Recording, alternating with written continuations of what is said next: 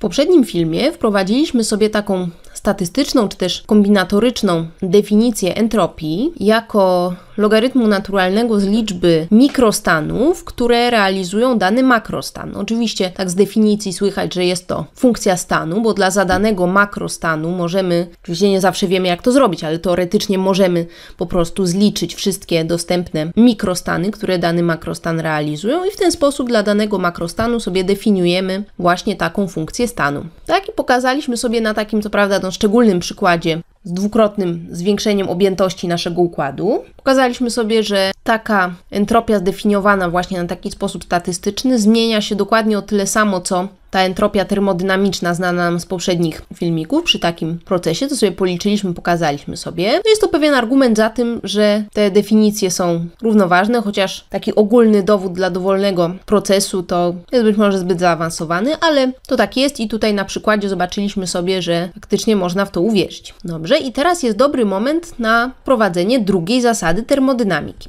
Tak, mieliśmy już pierwszą zasadę termodynamiki, teraz pora na drugą.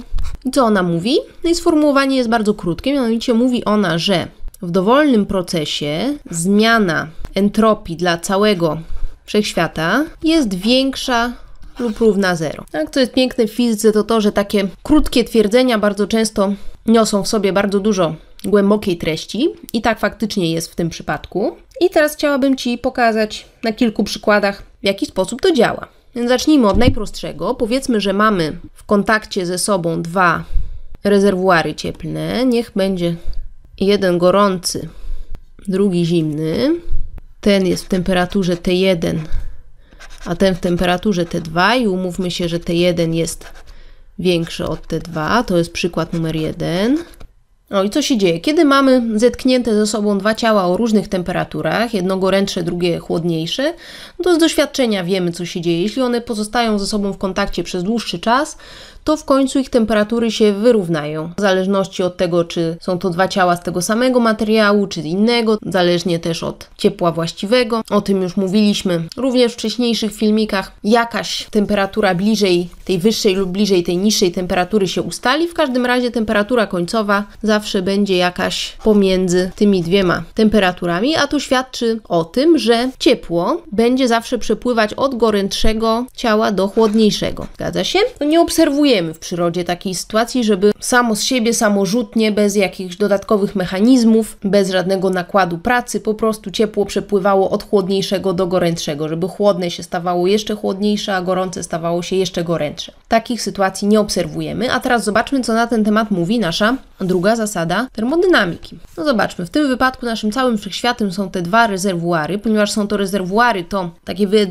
wyidealizowane, gigantyczne ciała, których jeśli od których jeśli odbierzemy trochę ciepła, to temperatura się nie zmieni. Podobnie jeśli dodamy trochę ciepła, również temperatura się nie zmieni trochę, czyli dowolną skończoną ilość ciepła, to to po prostu temperatury nie jest w stanie zmienić. Wobec tego łatwo nam się będzie liczyć. I teraz tak, zmiana entropii w tym wypadku to będzie suma zmiany entropii rezerwuaru gorącego i zmiany entropii rezerwuaru zimnego. Tak? Ile to będzie? No więc jeśli umówimy się, że od gorącego do zimnego przeszła dodatnia ilość ciepła oznaczanego przez nas przez Q, to rezerwuar gorący stracił, więc musimy napisać z minusem, stracił ciepło dodatnie równe Q w temperaturze, no w tej temperaturze, w jakiej, jaką ten rezerwuar ma, czyli w temperaturze T1, tak? To jest ten wkład, ta zmiana entropii tego rezerwuaru gorącego, a rezerwuar chłodny zyskał ciepło w ilości właśnie tej Q i stało się to w temperaturze tego rezerwuaru, czyli w temperaturze T2.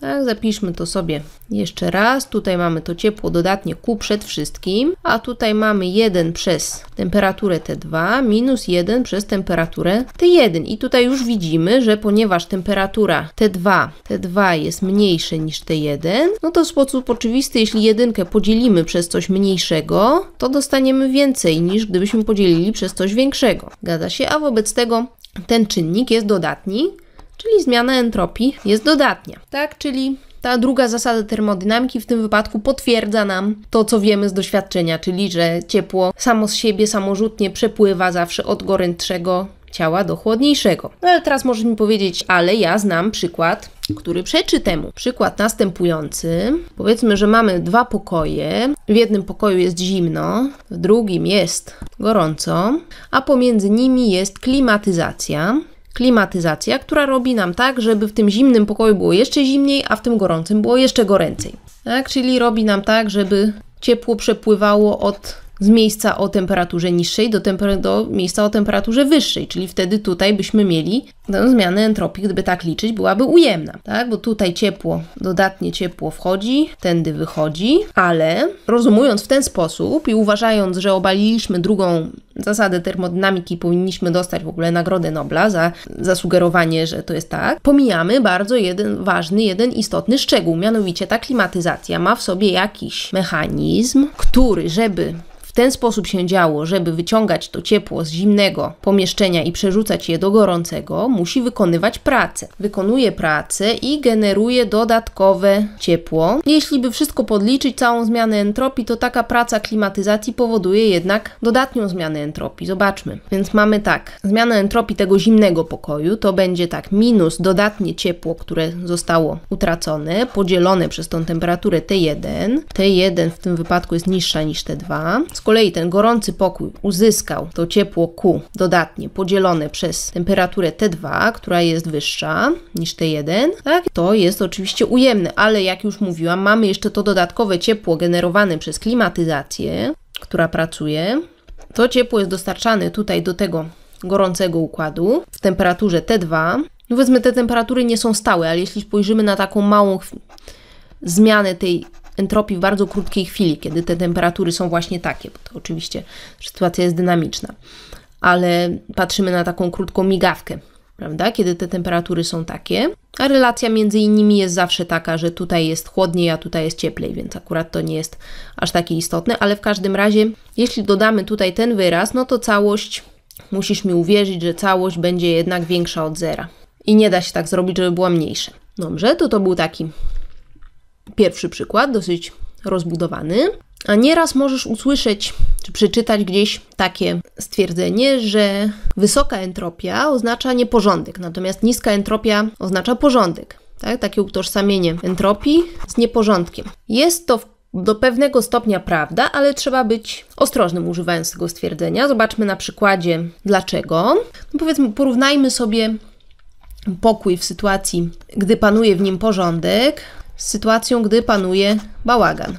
Tak, ale poza tym temperatura, ciśnienie, no, objętość siłą rzeczy tego pokoju, załóżmy ilość rzeczy, nic nie wnieśliśmy ani nie wynieśliśmy, to wtedy po prostu zauważ, że taka różnica między porządkiem i bałaganem w pokoju jest to po prostu różnica między dwoma mikrostanami. Po prostu rzeczy są inaczej rozmieszczone. Nie jest to dobry przykład utożsamienia entropii z porządkiem lub nieporządkiem, no ponieważ może być taka sytuacja, że te dwa mikrostany, to może nie dokładnie mikrostany, może to się nam tak trochę dziwnie kojarzyć, bo przecież te dwa mikrostany będą tak makroskopowo się różnić, bo przecież widzimy, że nie wiem, zeszyt leży na biurku albo zeszyt leży na podłodze prawda? Ale to tak naprawdę są różne mikrostany, bo po prostu te dwa, ten zestaw cząsteczek tworzących, załóżmy nasz zeszyt po prostu jest inaczej rozmieszczony, tylko one wszystkie razem jako taka wielka makroskopowa grupa po prostu leżą gdzie indziej. Natomiast jeśli te makroskopowe termodynamiczne parametry tego pokoju są takie same w jednej i drugiej sytuacji, to również entropia jest taka sama, no bo jest to funkcja stanu, prawda? Ale możemy sobie wyobrazić inną sytuację. Powiedzmy, mamy pokoju mamy zimno i panuje tam bałagan. Przychodzimy, sprzątamy i przy okazji naszą obecnością, naszym, nie wiem, chuchaniem, temperaturą naszego ciała, okna i drzwi, wszystko jest pozamykane, mm, pocimy się, chuchamy, pracujemy ciężko nad tym porządkiem i temperatura się podwyższa. Po jakimś czasie takiej naszej wytężonej pracy w tym pokoju się robi gorąco no i wówczas rzeczywiście zmieniliśmy również makrostan tego pokoju, prawda? Pomimo, że ten jakby widoczny bałagan się zmienił w widoczny po porządek, mogliśmy, dostarczając ciepło, zmienić entropię, tak? Może być, nastąpić wzrost entropii, tak? A tak jak w tym przypadku, kiedy po prostu poprzestawiamy rzeczy, a makrostan pokoju pozostanie ten sam, wówczas zmiana entropii wyniesie zero, prawda? Więc tą interpretacją porządku i nieporządku należy być ostrożnym. Natomiast kiedy taka interpretacja ma rację bytu, rozważmy taki przykład, że na Ziemię spada piłka. Tak, jest uniesiona na jakąś tam wysokość, ma jakąś energię potencjalną, następnie w locie ma, ma energię jakąś kinetyczną, a w końcu upada na Ziemię i zatrzymuje się. Tak, powiedzmy, że klapnęła tak rasa dobrze i się zatrzymała. Co się stało z jej energią kinetyczną, którą tutaj na chwilę, na sekundę przed upadkiem jeszcze miała, pędziła z jakąś tam powiedzmy nawet dużą prędkością, nagle się zatrzymała i nie ma energii kinetycznej. Co się z nią stało? No zobaczmy z bliska, tutaj na, na tej granicy między piłką a Ziemią, więc tak, atomy, cząsteczki tworzące piłkę, to jakieś tam ciało stałe, upakowane są te cząsteczki, tak, i w miarę trzymają się swoich miejsc, ewentualnie jakoś wibrują wokół położeń równowagi, natomiast generalnie póki piłka leci, to wszystkie mają uporządkowany, poruszają się takim uporządkowanym ruchem, wszystkie razem mają jakąś te wektory, żeby były widoczne, mają jakąś wspólną dla wszystkich skierowaną w dół prędkość. Natomiast te atomy tworzące, czy te cząsteczki tworzące tutaj ten grunt, tę ziemię, na chwilę przed upadkiem, no również jest to jakiś tam jakiś rodzaj ciała stałego, te atomy są w miarę stacjonarne, może właśnie tylko wibrują gdzieś tutaj wokół swoich położeń równowagi, tak, a w momencie uderzenia piłki o ziemię, przekopiujmy to sobie jeszcze raz, cząsteczki tworzące piłkę uderzają w cząsteczki tworzące ziemię i przekazują jakiś, na pewno powodują jakieś wgłębienie, odkształcenie, więc trochę takiego uporządkowanego ruchu w dół również jest, natomiast głównie przekazują taki chaotyczny ruch w różnych kierunkach w postaci ciepła. Można nawet zmierzyć taki efekt, że jak właśnie tak niesprężyste takie zderzenie nastąpi, to to miejsce, gdzie to zderzenie nastąpiło, może się lekko podgrzać. Oczywiście to trzeba jakichś precyzyjnych narzędzi, żeby to zmierzyć, ale to jest fakt. Tak? I podobnie tutaj również te cząsteczki, zamiast takiego, takiego uporządkowanego ruchu, również w taki chaotyczny ruch wibracyjny w różnych kierunkach. Oczywiście ani piłka, ani ziemia jakoś tam się specjalnie nie rozpadają, więc oczywiście mogą kawałki ziemi tutaj od odprysnąć przy tym uderzeniu, prawda? Ale generalna zasada jest taka, że po prostu w postaci takich chaotycznych wibracji w różnych kierunkach ten energia tego uporządkowanego ruchu, takiego w jednym kierunku, zostaje przekazana, zostaje wytracona właśnie na takie chaotyczne ruchy w różnych kierunkach. I teraz o porządku bądź nieporządku możemy mówić właśnie w kontekście mikrostanu. Taki mikrostan może być uporządkowany właśnie w sensie na przykład jakiegoś takiego regularnego rozmieszczenia cząsteczek, czy też właśnie wspólnej prędkości. Tak? Mogą być takie bardzo uporządkowane mikrostany, jak również o dokładnie tej samej nawet energii sumarycznej może być mikrostan taki, gdzie te prędkości są zupełnie chaotyczne w różnych kierunkach, mają różne wartości. O i w tym kontekście możemy oczywiście mówić o porządku lub nieporządku. Możemy sobie wyobrazić, że mamy makrostan, który jest realizowany przez różne mikrostany, ale takie właśnie dużo bardziej uporządkowane, w sensie rozmieszczenia na przykład cząsteczek. I teraz, jeśli wprowadzimy powiedzmy ciepło w danej temperaturze do takiego mikrostanu, tak, czyli zwiększymy taką entropię w sensie termodynamicznym, to widać również intuicyjnie, że umożliwienie takich chaotycznych ruchów na, w naszym układzie zmieni nasz makrostan na taki, który będzie miał zdecydowanie większą dostępną tę przestrzeń mikrostanów, a więc również większą będzie miał właśnie tą entropię taką statystyczną. I w ten sposób można sobie kojarzyć właśnie wysoką entropię z nieporządkiem, czy niską z porządkiem. Czy też można sobie wyobrażać też to tak, że takich chaotycznych, przypadkowych ruchów jest bardzo dużo. Może być tak, jak narysowałam, ale równie dobrze mogą te strzałki być skierowane jakoś zupełnie inny sposób i wciąż będzie to reprezentowało ten sam makrostan. Dla makrostanu charakteryzowanego przez taki, reprezentowanego przez takie chaotyczne mikrostany, tych mikrostanów może być bardzo dużo, natomiast jeśli mamy makrostany układu takiego właśnie jakiegoś kryształu, gdzie te atomy są tak regularnie rozmieszczone, czy jakiegoś podobnego układu, to tych dostępnych mikrostanów reprezentujących dany makrostan będzie dużo, dużo mniej. I w ten sposób sobie właśnie można to tłumaczyć. I jeszcze jedna sprawa jest taka, że jeszcze wróćmy do tej sytuacji z piłką, że jak można sobie wyobrazić, że jak ta piłka spadnie, leży piłka na ziemi, to jakoś tymi chaotycznymi ruchami, jakoś te chaotyczne ruchy właśnie tych cząsteczek tutaj ziemi, nagle tak się zgrają, że wszystkie cząsteczki będą miały właśnie taką tutaj prędkość do góry i popchnął naszą piłkę w ten sposób, że ona wystrzeli do góry z powrotem. Teoretycznie jest szansa, że coś takiego się stanie, bo jest całe mnóstwo różnych chaotycznych ruchów i w zasadzie dlaczego te strzałki nie miałyby się wszystkie przypadkiem nagle złożyć, zwrócić w tym samym kierunku. Ale wobec ogromu różnych możliwych chaotycznych ruchów tego zbioru cząsteczek, taka możliwość jest bardzo mało prawdopodobna i prawdopodobieństwo jest praktycznie równe zero. Tak? Byśmy musieli czekać naprawdę bardzo długo, dłużej niż istnieje nasz wszechświat, żeby kiedyś takiej sytuacji doświadczyć. Podobnie w tym przykładzie, w którym mieliśmy najpierw naczynie takie z gazem o jakiejś tam mniejszej objętości, następnie tę objętość zwiększaliśmy dwukrotnie, po czym usuwaliśmy przegrodę, prawda? Mieliśmy poprzednio ten przykład. No tutaj, tak jak mówiliśmy, liczba dostępnych położeń dla cząsteczek się zwiększyła nagle, wobec tego i entropia się zwiększyła, ale też należy to, na to patrzeć tak, że po tym jak już te cząsteczki się rozprzestrzenią tutaj na, cały, na całe naczynie, to jest naprawdę bardzo mała szansa, że kiedykolwiek one znowu wszystkie się zgromadzą, tutaj powiedzmy w tej połowie czy w tej drugiej, wszystko jedno. Tak? I druga zasada termodynamiki nam mówi, że samorzutnie taki proces nie może nastąpić.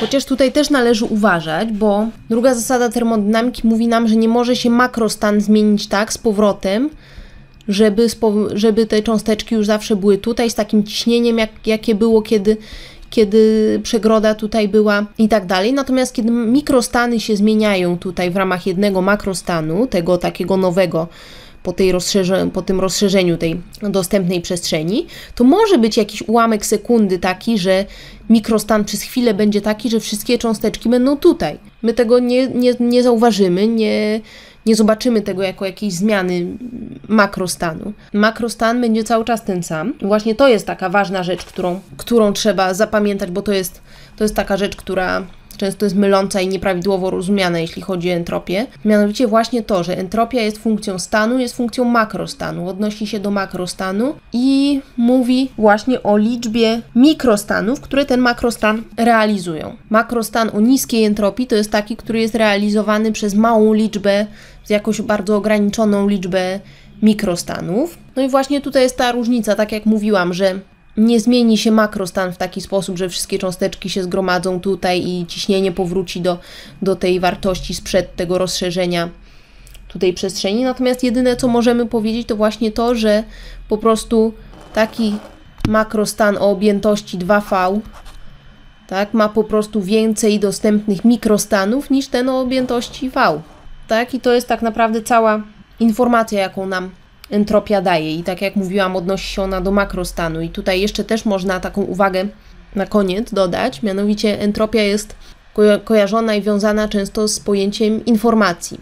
I rzeczywiście, kiedy entropia jest wysoka, czyli jest bardzo dużo różnych mikrostanów, które mogą dany makrostan, powiedzmy, że znamy makrostan, znamy jego entropię, bo jest to funkcja tych zmiennych termodynamicznych, więc możemy znając, znając wszystkie te zmienne termodynamiczne, powiedzmy, tą entropię policzyć, to gdy ta entropia jest wysoka, to mimo wszystko jest bardzo dużo różnych mikrostanów, które nam ten makrostan mogą zrealizować, więc tak naprawdę bardzo mało wiemy o wewnętrznym stanie, o mikrostanie układu. Natomiast jeśli ta entropia jest niska, to mamy proporcjonalnie dużo mniej różnych mikrostanów, które nam ten, ten makrostan realizują i wiemy, dzięki temu, mając niską entropię, mamy tak jakby dużo większą informację o układzie. Mniej musimy jeszcze się dowiedzieć, mniej musimy jakichś tam obserwacji przeprowadzić i, i, i, pomiarów, żeby się dowiedzieć o tym, co w tym układzie się dzieje. To tak najprościej i w największym skrócie, jaki jest związek entropii z informacją. Na tym na razie skończymy